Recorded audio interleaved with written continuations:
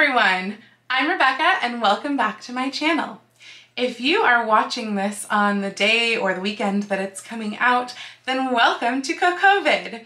Thank you so much for joining me here today, especially when I know that there are about over a hundred videos that are all for CoCovid for you to choose from. So hopefully you are having fun with all of that. Today is kind of the first full day, I think, of CoCovid. So that is super, super exciting. For those of you who don't know, if you are just finding me through maybe you're one of my subscribers or you're just finding this video by chance or maybe even after the fact, CoCovid is something that the costume community has put together because Costume College was unfortunately canceled this year. So we're trying to kind of fill that void. We're not affiliated with Costume College in any way, but we're trying to fill that void that Costume College left behind because it's such a huge and important event to so many of us. So because we're doing this whole CoCovid thing, somewhere in this video, and I'm not going to tell you where, there is going to be a badge for you to collect uh, if you're into that. So do watch the whole video and get your badge because as far as I know, every CoCovid video is coming along with a badge. So if you watch all of them, you're going to get a hundred plus badges. There's also various events that are going on outside of the YouTube platform.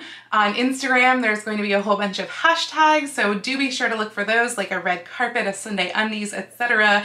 And also we've got a Discord chat going on so that everyone can kind of join in and hang out and have fun there. I have the links to all of that information down in the description. But you are here for this video. And probably a lot of you are watching this after the fact too, and that's just fine because this is going to be a fun hair tutorial. After I did my 1940s victory roll tutorial a few weeks ago, which I will link to here and in the description, I mentioned that I was also planning on doing a 1950s sort of pinup glam brush out tutorial. So that is what today is. Mostly this is really kind of a tutorial about how I set my curls and how I get my curls to set.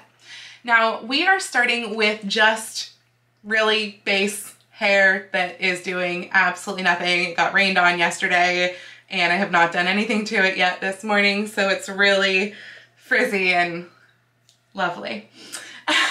and we're gonna turn that into 1950s glamour with just a few tools and about a half hour or so.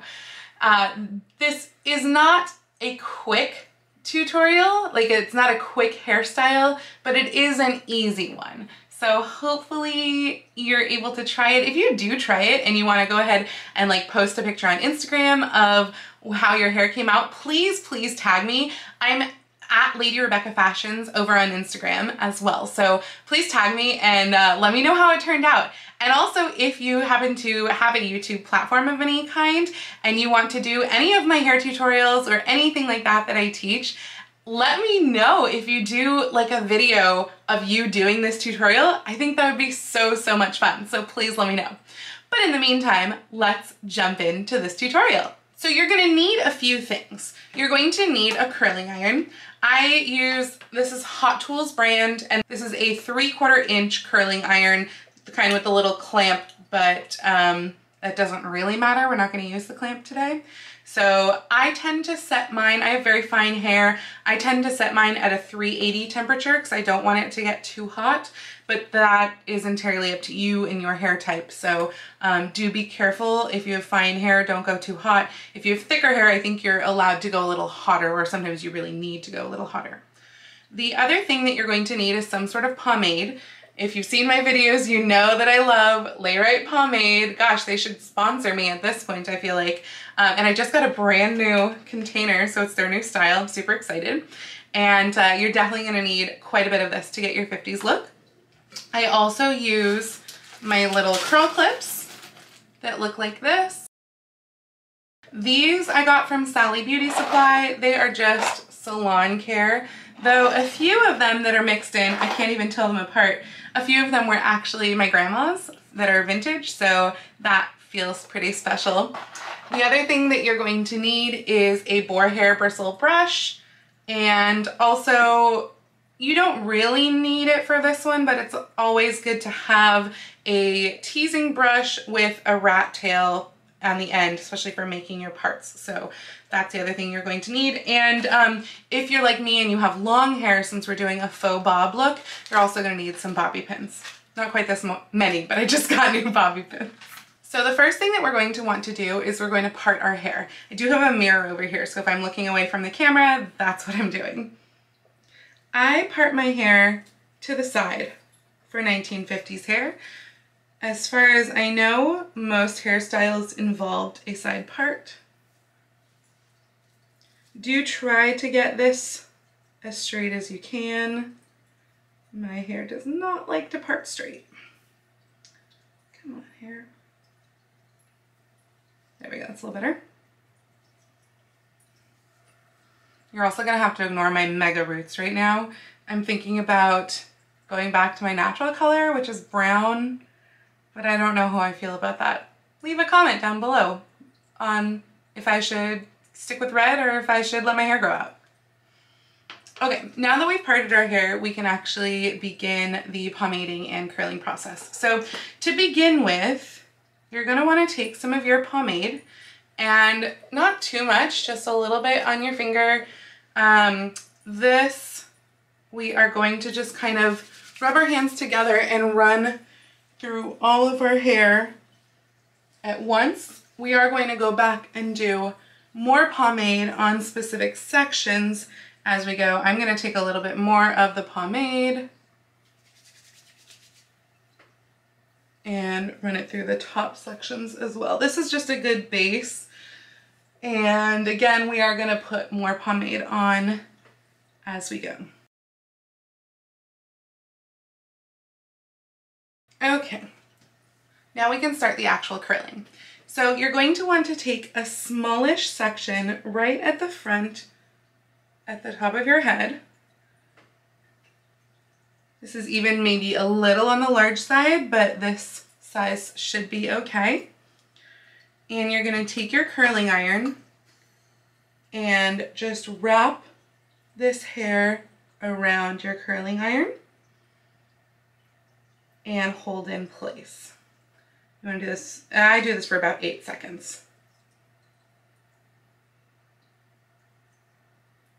Then slide your hair off of the curling iron and clip. Just like that. You can, even if you want extra volume, you can scooch it a little over towards your part so that it even gets a little bit of back volume. Now we're going to go ahead and do the same sort of thing to basically the rest of our head, but we're starting with the front of your hair. So take another section. I like to use this much and break this into two sections. So I'll kind of start with the whole thing to begin with so that I know how much I want to break into each and then divide that into two. I'm putting a little bit more pomade on this one. You don't want to do too much pomade that it weighs your hair down, but you also want enough that it's going to make your set stick. And again, wrap this around our curling iron.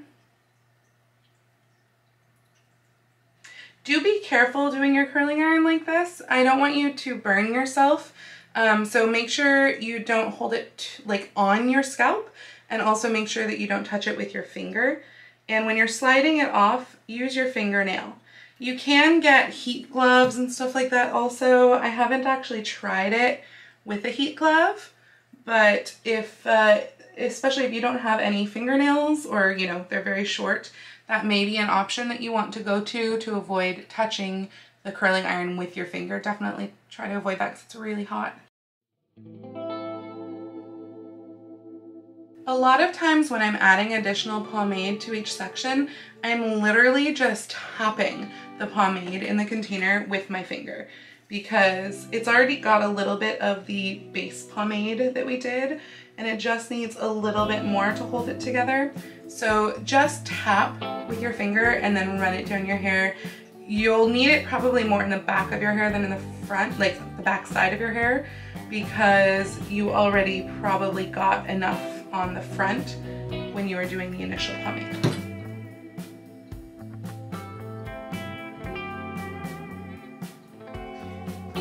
Now that we've done this part of our set, let's switch to the other side and then we'll do the rest of the head.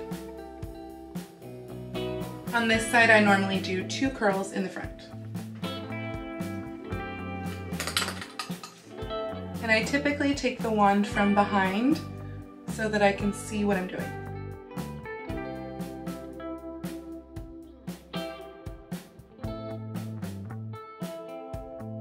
If your curls start to unwrap as you bring them off the curling iron, just twist them a little as you're holding them. That way you can make sure that you're getting right up to the base of your curl so that you can get the best volume because that's what we're going for here. We're going for volume.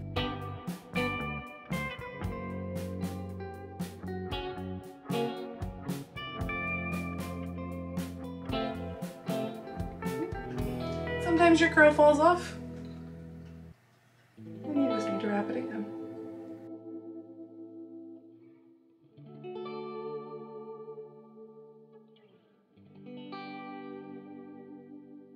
We've done the front of our hair.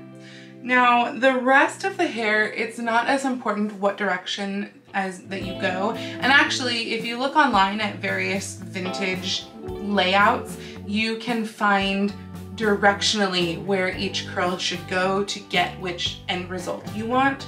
This is really, this is kind of my basic. So um, feel free to go online and look through some of those diagrams and play around with styles, but this is a really good just like basic to get the look right as opposed to you're going for an extreme sculptural look. So give it a try though. So the only other curls that really have specific directions that we're going for are gonna be also at the top of the head, right around the part. And that's just because you want to always make sure you're getting the most volume. So all of these curls are going to curl under because we're going for volume here, um, particularly at the top of the head.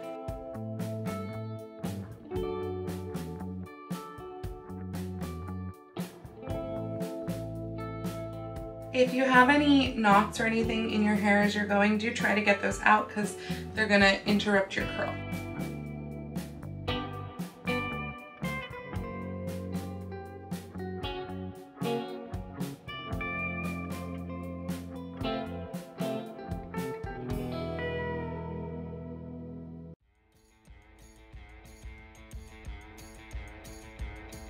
Don't be alarmed if you hear any sizzling sounds. That's just because of the pomade.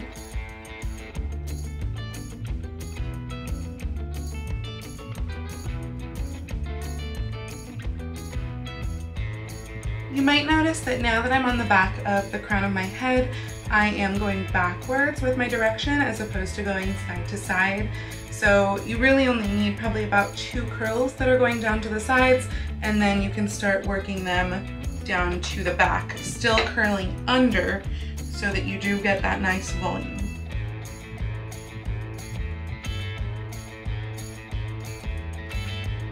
I lost my tail on that one, so I'm actually going to curl the whole thing again.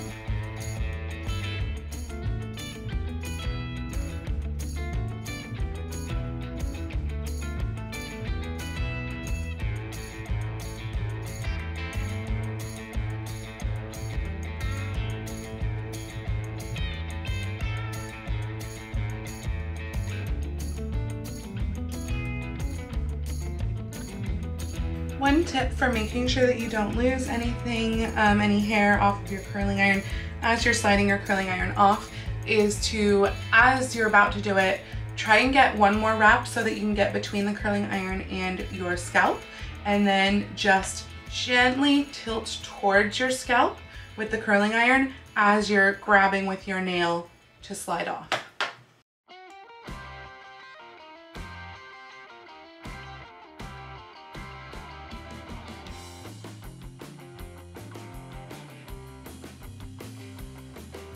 Find that you've grabbed too much pomade for a certain section of hair, just take your fingers and rub them on the rest of your hair.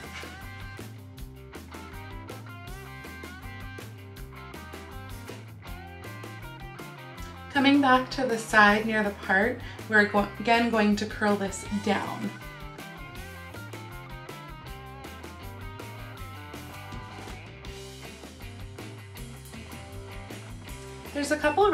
That I do the front section of my hair first. Uh, one is just to get it out of the way so that we don't, we don't have to worry about accidentally grabbing pieces of those sections when we do the rest of our hair. But two is so that it has the longest time to set. You are going to leave these curls in for at least 15 and preferably 30 minutes. I highly recommend do your curl set first then do your makeup. By the time you're done doing your makeup, your curls will probably be ready.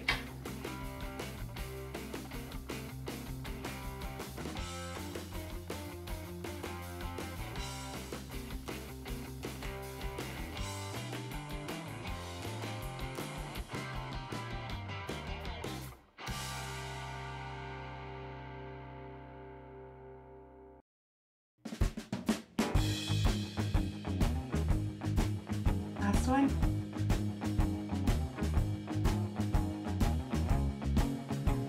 And with that, our setting process is done.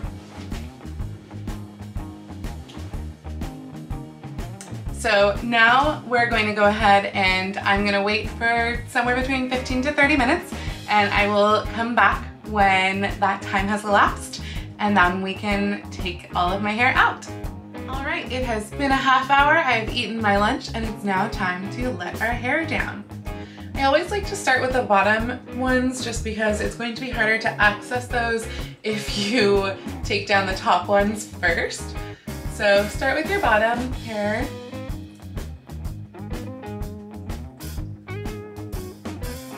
By giving some time between setting and releasing our curls, we're allowing the curls time to into place and remember where we want them to be.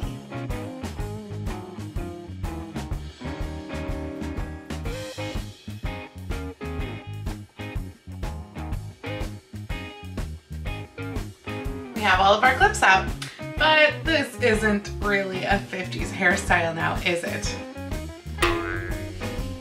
So now we need to brush out our hair. Now, I tend to not have very good results when I use an actual brush, so I always start with my fingers. I would say be a little bit careful about right up at the front doing the brushing because, especially at the ends, because really we want to keep the ends of the front section uh, still in their little spirals because we're going to do some fun things with them. But go ahead and run your fingers through all of the rest of your hair you want it to kind of form itself into a wave pattern. You found the CoCovid badge. Scan this QR code or use the code to claim your badge. Instructions are in the description below. I'm going to try the brush. Hopefully I won't brush out my curls entirely, but I do want them to get a little bit smoother.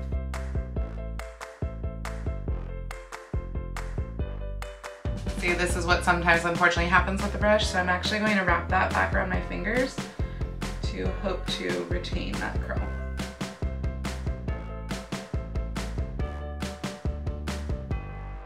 One of the other things that I like to do at this point is to give myself a little bit of extra volume if it starts to fall down on top. I will take my curling iron and push it up against here so we get a little bit more volume.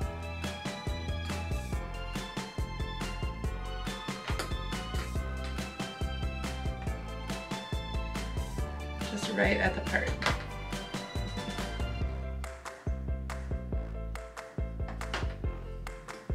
See, it helps. Now it's time to start shaping our hair into what we want it to do. So one of the key things here is that my hair is way too long for a 1950s cut. So we're going to make it into a faux bob. Since this hair in particular got a little sad when I brush it, which I kind of knew that it would, I am going to curl this back up. The main thing here is to get this shape back into our hair here. And I am going to pin that into place with bobby pin.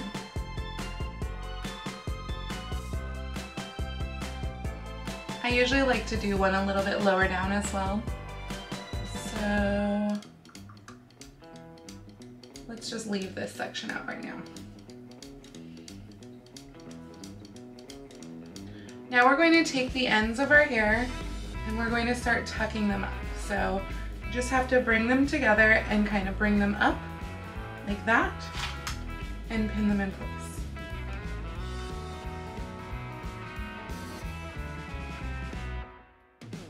Once we've pinned kind of this side in place, we can figure out what we want this to do. I am again going to curl this back up with my fingers to help it remember what it was doing.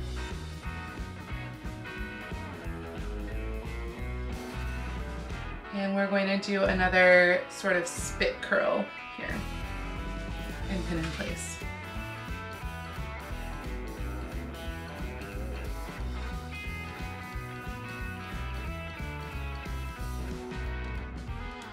Now we can continue pinning around the rest of our faux bob.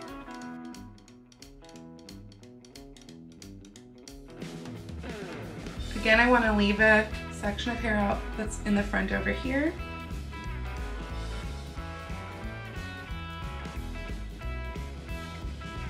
And you're just pinning here basically right to the base of your neck, right at the base of your hairline to grab it into something.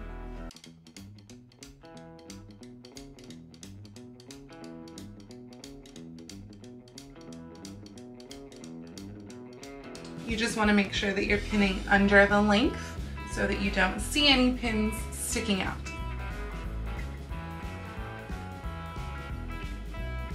And over here, we're again going to wrap this around our fingers.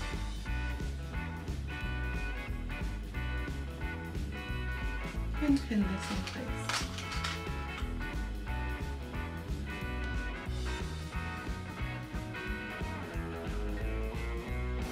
I'm gonna do two over here as well.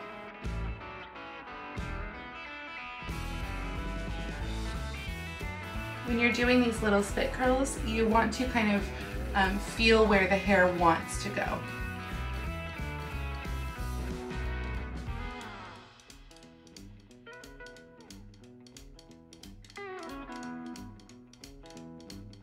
If you feel like your roots are getting a little flat, you can carefully brush them. You can also tease them in the first place if you really weren't getting much volume to begin with. You can tease your roots before um, putting it into this style. But since I did not tease my roots, I'm just going to kind of carefully brush them. I think I may have over pomaded just a little bit based on the lack of volume.